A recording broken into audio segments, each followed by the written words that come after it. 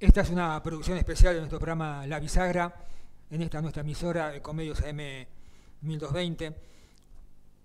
Estamos entre dos fechas importantes, promediando casi noviembre, 30 de octubre y 10 de diciembre. 30 de octubre cuando resultó electo el presidente Raúl Alfonsín y el 10 de diciembre cuando asumió la presidencia de la Nación son 35 años de democracia. Por eso usted ya está viendo en pantalla al presidente Raúl Alfonsín. Una producción especial, dijimos, podíamos haber recurrido a sus discursos de campaña, cuando pronunciaba el preámbulo de la Constitución, a su juramento, a también ese encendido discurso en el acto de cierre de la 9 de julio, pero hemos echado mano a nuestro archivo personal, usted ya está viendo en pantalla eh, a este conductor formulándole una entrevista al doctor Raúl Alfonsín, esto es de mediados de 1997. Esto era previo a la constitución de la coalición que posteriormente le ganaría las elecciones de medio término al menemismo que iniciaría obviamente el declive del gobierno menemista. ¿Por qué hemos decidido poner en el aire este, esta entrevista de poco más de 20 minutos de nuestro archivo personal? Porque en esta entrevista vamos a encontrar, además, obviamente, usted va a escuchar preguntas sobre temas muy puntuales de ese momento, de 1997 que estaban aconteciendo, pero sin embargo, también va a encontrar en la palabra del presidente Alfonsín temas como pobreza, justicia, peronismo, oficialismo y oposición, temas estructurales permanentes en la Argentina. Por eso, sin más preámbulos, vamos a comenzar a escuchar esta nota que usted ve un estudio de radio, fue grabada en los estudios de Radio El Mundo. Nosotros teníamos nuestro programa de radio diario, Reporte 17, y simultáneamente fue filmada en ese momento en videotape eh, para ser pasado la semana siguiente a esta grabación en un programa que también teníamos en BCC que se llamaba Respuestas. Como dijimos, sin preámbulos, la entrevista con Raúl Alfonsín hace 21 años. Bueno, doctor Alfonsín, eh, ¿sabe con qué voy a comenzar? Voy a comenzar con... Me voy a tomar una licencia, voy a comenzar con algo personal. Personal. Sí, señor. la es medio peligroso eso. La primera foto, la primer foto que tengo yo de mi trabajo profesional de Raúl Alfonsín. Ah, claro, Mario. ¿Sabe qué año? 1973. Y yo estaba de pantalones cortos. No, no, no, no, eh, el, día que, el día que renuncia a Cámpora. El día que renuncia a ah, Cámpora, entrando Raúl Alfonsín junto a Raúl Borrás. Ajá. Como tromba en, el, en las oficinas de Antonio Trócoli, que era presidente del bloque de diputados. Claro, pero es probable, ¿sí? Es probable. ¿Sabe qué dijo usted en ese momento cuando se le preguntó qué es esto que lo habían hecho renunciar a Cámpora? Un golpe fascista. Lo tengo grabadísimo. No, me, acuerdo bien, pero este, me acuerdo del episodio, sí. ¿Mm? Sí, sí, sí. Eh, ¿Sabe por qué me vino a la memoria esto? Porque están sucediendo algunas cosas dentro del peronismo y he escuchado justamente en esta jornada al gobernador Kirchner, hablando del problema de su mujer. Y recién a Toma diciendo que se están dando, por lo menos en oficialismo, algunas tendencias loperreguistas. Ellos mismos lo dicen, doctor. Mire, yo lo que no sé... yo no lo quiero meter en la interna de... No, no, no, no, no, no, no, desde luego que no quiero yo tampoco meterme en la interna de ningún partido. A mí me preocupa más las tendencias hegemónicas que se pueden producir del justicialismo del gobierno en la política argentina, porque es evidente que eh, cuando llega el justicialismo al país, con Perón, produce un avance social importante, eso no lo discute nadie. Pero es evidente también que muchos llegaron al peronismo no por el avance social, sino por el autoritarismo, ¿no es cierto? Y entonces usted recuerda que era imposible para un opositor arrimarse a un micrófono o que vivíamos en permanente estado de sitio o que por otra parte eh, bueno teníamos que enseñarles a nuestros chicos a leer en libros de lectura que eran de propaganda política. Era una pretensión hegemónica que eh, la oposición no llegara. Es cierto también porque hay que decir toda la verdad que a nosotros vinieron, que no muchos que, eh, es decir, muchos luchar y acompañarnos para luchar por la libertad, pero algunos también para impedir el avance social. De modo que se produjo una, una dicotomía en la sociedad argentina, más que una dicotomía, una contradicción en la sociedad argentina que no debiera repetirse nunca más. ¿Estamos en riesgo? Yo lo que veo es que, por ejemplo, este episodio que se ha eh, efectuado del Banco Hipotecario Nacional, yo no creo que nadie quería. Yo quisiera saber cuántos peronistas querían que se vendiera el Banco Hipotecario Nacional. Pero el hecho de que los fondos sean extra presupuestarios y que lo que quede para la nación no va a tener los controles republicanos, esto ya está, eh, es indicio de algún tipo de pretensión hegemónica. Lo que acaba de decir el presidente con relación al Congreso de la Nación, de que va a manejarse por eh, decretos, eso es el colmo, porque esa es la ilegalidad. Eso es peor que la pretensión hegemónica. Entonces yo no me quiero salir de la interna para hacer este solo comentario de la interna del justicialismo. Este, yo creo que han pasado el tiempo, eh, no nos podemos acordar de todo lo que ha sucedido. Siempre las internas del justicialismo las ha pagado el país. De modo que ahora lo que todos queremos es que se actúe con sentido democrático en las internas, no solo del justicialismo, sino de todos los partidos políticos, ¿verdad? Y sé que hay discusiones muy serias en todas estas cuestiones. Eh, claro, incluso simplemente como un comentario, este, eh, Miguel Ángel Toma dijo, me parece que el peronismo tiene que entrar en la segunda renovación. Bueno, usted recuerda que en la época de nuestro gobierno se había efectuado realmente un proceso de democratización dentro del, justicialismo que fue notable, porque terminaron las listas a dedo de los caudillos, digamos, y se hacían elecciones internas. Eso fue realmente importante para el país, porque nosotros terminamos con dos autoritarismos, el autoritarismo de las Fuerzas Armadas y la pretensión hegemónica del peronismo que existía en aquel tiempo. No es cuestión de volver a las andadas, porque a mí no me preocupa que haya una elección y que gane el partido que tenga más votos, a quien apoye más la gente. Lo que me preocupa es poder ejercer los derechos todo el mundo, incluso los justicialistas. ¿verdad? Ejercer los derechos eh, que hacen a una democracia con absoluta libertad. Usted sabe que en este sentido, bueno, nosotros estuvimos ya haciendo un resumen, tenemos muchos mensajes de temas, ¿no? Y hay eh, propios y ajenos del radicalismo que le reprochan, le siguen reprochando todavía a Raúl Alfonsín el Pacto de Olivos. Bueno, sí, yo creo, que sí, que está muy bien, que sobre todo en, el radicalismo eh, se me criticó mucho. Una vez me preguntaron a mí qué es lo mejor que ha hecho usted como presidente del Comité Nacional, el Pacto de Olivos. Y lo peor que ha hecho, ¿cuál es? El Pacto de Olivos. porque yo creo que salvamos al país de una enorme regresión, porque parto de la base y a los amigos que han tenido la gentileza de enviar eh, sus apreciaciones al respecto, les quiero decir que se pongan la mano en el corazón y que se pregunten a sí mismos si no había de todas maneras reforma de la Constitución.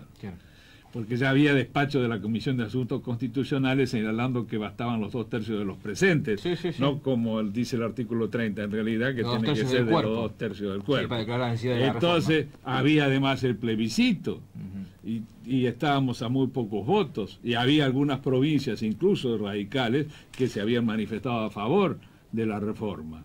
De modo que esto podía ser eh, caótico para la Argentina, volver en una regresión espantosa al 49, para los radicales se lo digo que se quejaron, ¿eh? o al 57 se lo digo para los peronistas que se quejaron. No podíamos permitir eso, salvamos la legalidad del país. En segundo lugar, la constitución que se logró fue mucho mejor, ¿verdad? Entonces yo comprendo los que están en contra, ¿cómo no? Pero yo no tengo ninguna duda, ninguna duda, de que de todas maneras había modificación de la Constitución. Y logramos una Constitución milagrosa, porque en el tiempo del neoconservadurismo logramos una constitución que tiene componentes propias de las que se establecieron en la época de posguerra en pleno en plena concepción del estado de bienestar. ¿Eh? De modo que eso es realmente un milagro que se logró este, por el cual la Unión Cívica Radical pagó un precio muy importante. Pero hoy se está reconociendo ya por los constitucionalistas más importantes del país que es una constitución mejor que antes, que otorga mejores derechos a la ciudadanía y que es una vergüenza que no se cumpla. No se han reglamentado, creo que como 14 Pero no, hay algunos de una importancia fundamental, porque una de las cosas que nosotros queríamos precisamente era terminar con el avance del Ejecutivo sobre la justicia. Y el Consejo de la Magistratura tenía ese sentido. Y ahí hay una responsabilidad histórica por parte de los senadores del justicialismo, que tienen que en estos momentos sancionar lo que se sancionó en la Cámara de Diputados de la Nación prácticamente por unanimidad, ¿verdad? Porque lo votó todo el justicialismo también, no solo el radicalismo, también con el apoyo del Colegio de Abogados Públicos, con el apoyo del Colegio de Abogados de la Ciudad de Buenos Aires, con el apoyo de la Federación Argentina del Colegio de Abogados, con el apoyo de la institución que reúne a los magistrados judiciales, es decir, con la asociación también de abogados en cierta forma. De modo que este, pienso yo que eh, tiene que salir cuanto antes. Ya hay 30 vacantes de jueces y no se pueden designar. ¿Y por qué no se pueden designar? Porque pretenden tener una mayoría absoluta. Y lo que nosotros queremos es que no haya mayoría de nadie. Que los concursos para designar a los jueces sean cristalinos, sean transparentes, se nombren los mejores, los más aptos los que mejor van a comportarse. Y esto lo creo yo que hace a la seguridad jurídica de los argentinos y hace también a la propia tranquilidad del gobierno. De ninguna manera, de ninguna manera, eh, nombrando amigos que vaya a saber. Yo no fui, ¿eh? No, no, no, no, no que no escucha nadie acá. No, se cayó el agua mineral. Este, eh, nombrando amigos se preserva de cualquier cosa, al contrario, eso es lo peor que puede suceder, porque va a ser el primero que va a querer curarse en salud. Le quiero hacer una, pregunta. Usted sabe que cada vez que en este país se habla de pobreza, el presidente, eh, una, desnosta contra el INDEC, dos, dice que cuando en el 89 se estaba yendo el presidente ah, Alfonsín había más pobreza. Sí, sí, sí, siempre dice lo mismo, tiene razón. ¿Y usted qué dice? Y yo estoy con el INDEC. Eh, está muy claro que se sigue eh, con las mismas normas eh, las eh, estadísticas, eh, que yo creo que expresan, por ejemplo, en el caso de la desocupación, expresan menor índice de desocupación de que realmente es. Menor todavía. Menor todavía. Pero no porque hagan mal las cosas, sino porque la forma en que se hace, que es universal, este, hace que sea menor, puesto que aparecen como desocupados aquellos que reclaman empleo durante la semana anterior a la pregunta. Así es, así es. Y hay muchos que, está buscando. exacto. Mm. Hay muchos que ya han dejado de buscar. Ahora dice Menem, eh, lo que pasa es que la pobreza la utilizan políticamente. Bueno, yo creo que eso, eh, en fin, este, no sé qué quiere decir políticamente. Para mí la política es muy importante. ¿Eh? Yo creo justamente ayer comentaba que en realidad a lo mejor este, la, pobreza y la desocupación a veces es consecuencia de políticas. Las políticas son las que definen la forma de comportamiento de una sociedad también, ¿no es cierto? Ahora, si me quiere decir que es politiquería, digo no. Ayer escuché a un dirigente sindical que le hizo muchos paros a usted, a Saúl Ubaldini. ¿Sabe ah, lo que dijo? Que los cortes de ruta son a Menem lo que los saqueos de los supermercados fueron a Alfonsín.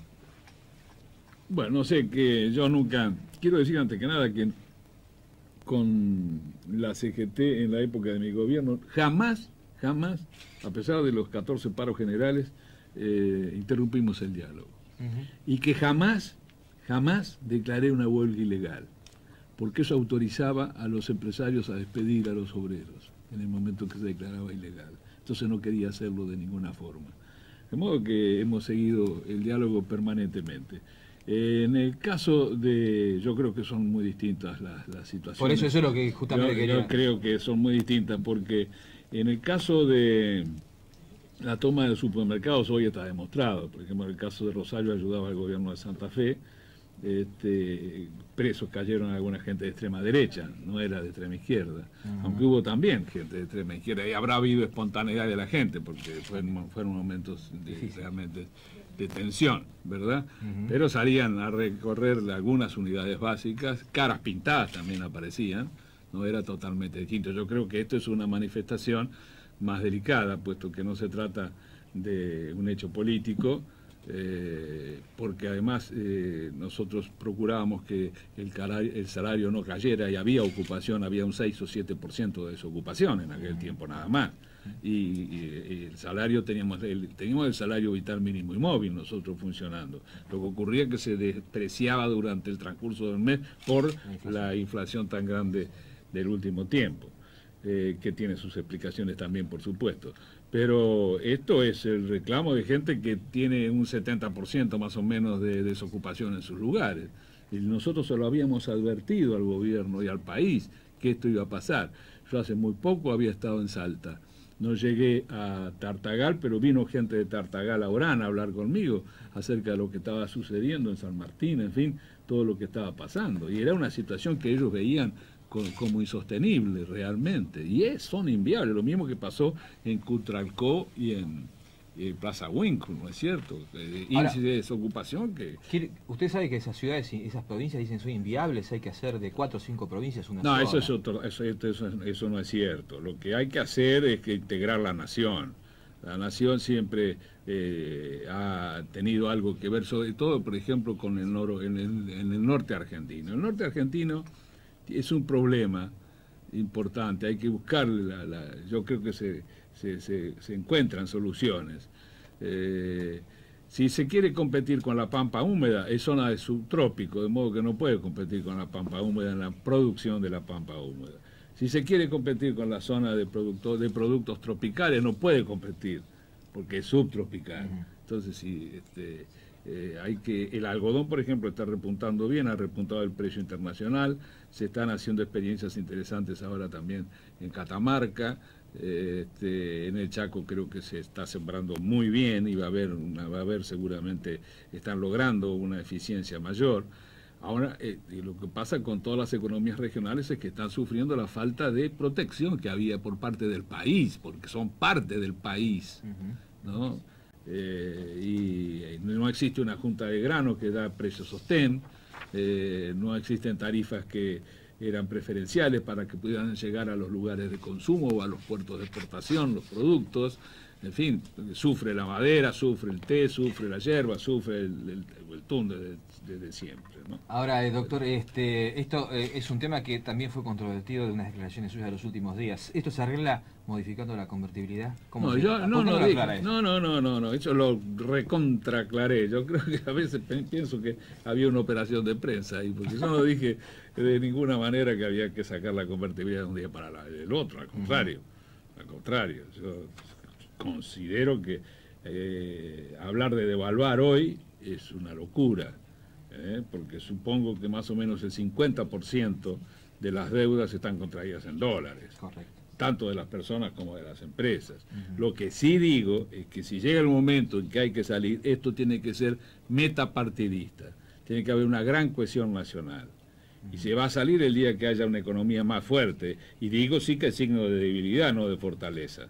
Pero al contrario, lo dije con mucha claridad diciendo que no tiene que ser un problema de la competencia política, porque es un problema de cohesión nacional, que nos han metido en una trampa y de la que es dificilísimo salir. Eso es lo que digo.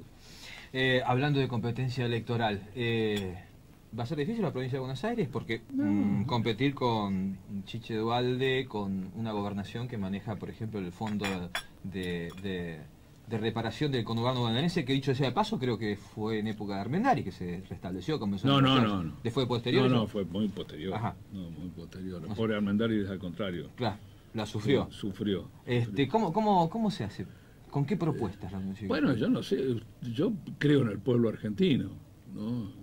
Creo en el pueblo argentino y pienso que quienes están recibiendo esa asistencia eh, deben recibirla, pero lo deben castigar en la urna porque eso no significa que le estén comprando el alma ni el voto ni a la persona, ¿verdad?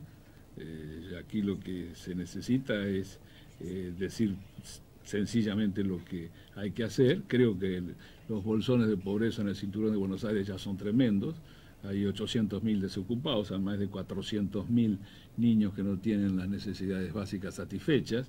Este, eh, son una de las zonas del mundo, debe ser, donde más, hay más concentración de habitantes sin servicios sanitarios, sin redes cloacales, sin agua potable.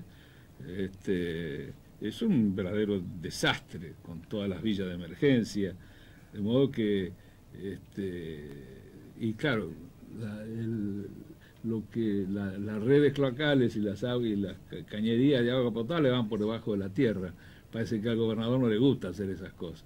Más bien inaugura dos o tres veces el mismo hospital sin ponerle las camas y los médicos que se ve, ¿eh? sobre todo se ve por televisión. Este, lo de la policía bonaerense, porque yo quiero darle dos nombres en este momento para hacer una reflexión a propósito de lo que charlábamos en, la apertura.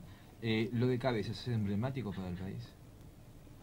Yo creo que todo el país está esperando que esto se descubra. Yo creo que es un asunto fundamental. Yo creo que todos los argentinos, y aquí, como en muchas cosas, porque parece que discrepamos, pero en el fondo no discrepamos tanto, los argentinos, ¿verdad? Y nos hacen discutir a veces lo que gente interesada quiere que discutamos. Yo le preguntaría, ¿qué peronista quiere que vendamos Yacyretá? ¿Cuál es el peronista? ¿Qué peronista quería vender el banco hipotecario? ¿No? Este, entonces, y sin embargo se va adelante nomás, y se va adelante, y se va adelante, y se va adelante. Entonces es cuestión de que dentro del propio justicialismo yo estoy convencido porque me vienen a hablar a mí cuando yo dejo una tribuna. Y me dicen, no, doctora Fosina Flor, que yo soy peronista, pero hoy estuve en el hospital de, San Miguel, que está prácticamente, usted sabe la vergüenza que ha pasado en San Miguel. Está preso el intendente, es un desastre, también lo sacaron al concejal. Y ahí tiene que actuar la provincia de inmediato. Usted sabe que el segundo término de los mensajes, ¿sabe qué es justamente? Eh, una coalición, la coalición, la unión, la de la oposición. Y mire, yo soy el primero que ha dicho y ha escrito sobre este tema. En el 99 no se puede pensar, ¿eh? y no se lo dice alguien que lo haya estudiado en los libros, ¿eh? que, lo he vivido. No se puede pensar en un gobierno así, para decirlo muy rápidamente, entre comillas, ¿verdad? Nacional y popular, ¿eh? de un solo partido. Olvídese. Así que es necesario un sistema que será parecido al chileno, por ejemplo, o al catamarqueño acá en la Argentina, y buscar la manera. Y yo no excluyo dentro de los sectores progresistas que pueden estar en esto al, propio, sector, al propio sector peronista, sectores del peronismo que están. Usted ve Maqueda, por ejemplo, cómo se opuso. Ayer hablábamos con, él. Ayer hablamos con cómo se opuso a un artículo que del, banco hipotecario. Del, banco hipotecario. Ahora, hay que esto, estas cosas hay que impulsarlas, hay que empujarlas, o hay que esperar, por ejemplo, que cambie la hora, la ola, como por ejemplo a lo mejor está cambiando en el mundo. por ejemplo, Blair en Inglaterra. sí, no, pero mire, el neoconservadurismo yo creo que todavía tenemos para unos años, ¿eh? desgraciadamente, desgraciadamente. Lo que hay que hacer es romperse la cabeza para ver cómo modernizamos el estado de bienestar frente a todo lo que está sucediendo. Porque al mismo tiempo acá en la Argentina eh, hay una incomprensión por parte de algunos sectores. Fíjense que eh, frente a la posibilidad de llegarse a un acuerdo con la flexibilización, no, no, advierten que es absolutamente necesario salvar el convenio colectivo. Eso los radicales estamos a muerte con el convenio colectivo. porque los sindicatos lo están aceptando en alguna medida. No, no, los sindicatos, desde luego que tienen que aceptar, tienen que promoverlo ahí a muerte. Pero los, los radicales estamos con el convenio colectivo convenio marco, que me, parece bien que haya diversos convenios, porque hay convenios que usted no puede hacer un convenio colectivo para una empresa determinada que puede tener determinada actividad, tendrá que ver, pero siempre con un asesoramiento también del sindicato. Y esto es lo que parece no aceptar. Y esta es una, como los decretos que están todavía declarados inconstitucionales, ¿verdad? Eso es una falta al principio de legalidad, es una falta al principio de autonomía, es una falta al principio de equilibrio social. Porque no puede usted dejar que las partes, eh, no, hay, no hay equilibrio si no hay un convenio colectivo. Eh, le hago la última pregunta. Usted sabe que eh, hemos leído algunas columnas en los últimos fines de semana en donde dicen que hay hombres del radicalismo que les gustaría en alguna medida negociar con el justicialismo para el 99, alguna Esa es una picardía de un, de un, partido político que no quiero nombrar porque tenemos que a la larga coincidir en algunas cosas. Es una picardía. Lo digo yo, que paso. no, no, no. Es una picardía que este, que, no, que, espero que dejen de lado. O sea, eh, la pregunta sería esta, Pacto de Olivos 2 no hay. Con uno no, que Pacto de Olivos 2. ¿Eh? El Pacto de Olivos se hace para salvar al país, salvar la democracia. Y hoy estamos acá, usted y yo, conversando acá porque hubo Pacto de Olivos. Y porque hay una constitución que nos garantiza. Si no, vaya a saber qué era lo que estaba pasando. Demasiado tenemos ya una democracia delegativa. ¿Qué quiere decir, qué quiere decir democracia delegativa? Un gobierno es elegido correctamente, reconozco, y hace lo que quiere, no, eso no es la democracia.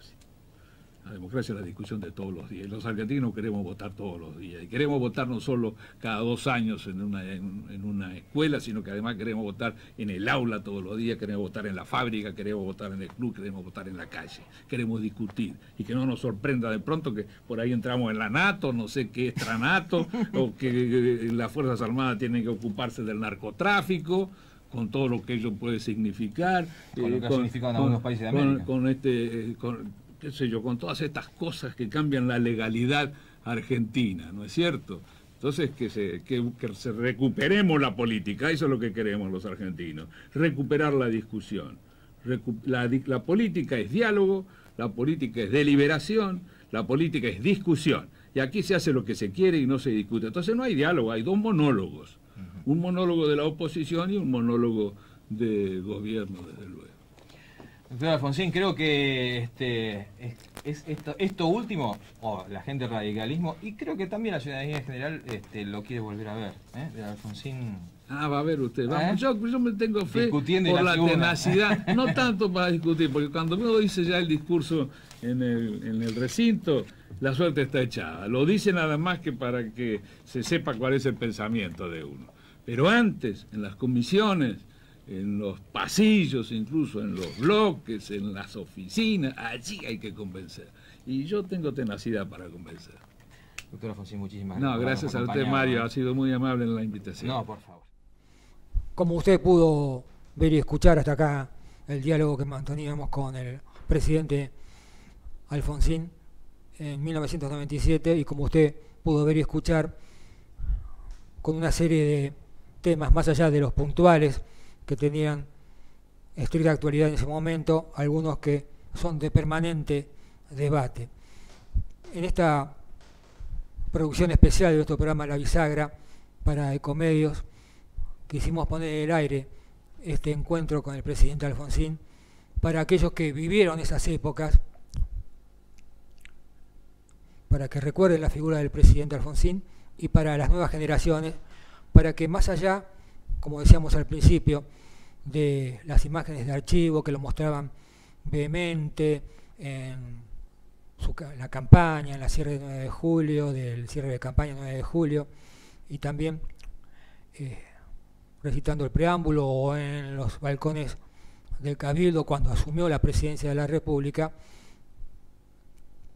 pudieron verlo en un diálogo relajado, en un estudio de radio, también simultáneamente hemos registrado, registramos en ese momento esta nota para televisión. Pero además este, quería apuntarle algo, si en algún momento, en un primer plano de este conductor, usted veía en nuestra solapa una cinta negra, era porque en enero de ese 1997 se había producido el asesinato en Pinamar de José Luis Cabezas y una forma de reclamar justicia para el esclarecimiento de ese asesinato de nuestro colega gráfico. Y para cerrar este informe especial, vamos a recurrir a una encuesta realizada por la consultora de D'Alessio Irol Berenstein, un informe especial a 35 años de la democracia, una medición realizada en forma online entre el 31 de octubre y el 1 de noviembre de este año, obviamente, a 800 encuestados mayores de 18 años de todo el país. ¿Cuál es el resultado y cuál es la pregunta? Vamos a la placa. En estos 35 años de democracia, el mejor presidente fue El 37% eligió a Raúl Alfonsín, el 29% a Néstor Kirchner, el 12% a Cristina Fernández de Kirchner, el 9% a Mauricio Macri, 9%, fíjese este dato, a ninguno, 2% a Carlos Menem, 2% a Eduardo Dualdo, Fernando de la Rúa y Adolfo Rodríguez con una medición prácticamente plana. Bueno, un resultado indiscutible, ¿eh? casi 40% eligen como el mejor presidente de estos 35 años de, democracia al presidente Alfonsín, pero además, viendo los resultados, debemos formular aquí una aclaración en cuanto al actual presidente Mauricio Macri, que tiene un 9%. En comparación a los demás, el presidente Macri todavía no ha cumplido su mandato íntegro, falta aún un año, quizás habrá que hacer una encuesta cuando complete este mandato y en el caso de ser reelecto tendrá como en alguna medida tuvieron el, tuvo el kirchnerismo más de un periodo para demostrar lo que se puede hacer. Pero, insistimos, no hay ninguna discusión en estos 35 años de democracia para la mayor parte de los encuestados, el 37% del mejor presidente fue Raúl Alfonsín. Gracias por habernos acompañado. Seguimos con más en nuestro programa La Bisagra en Ecomedios M 1220.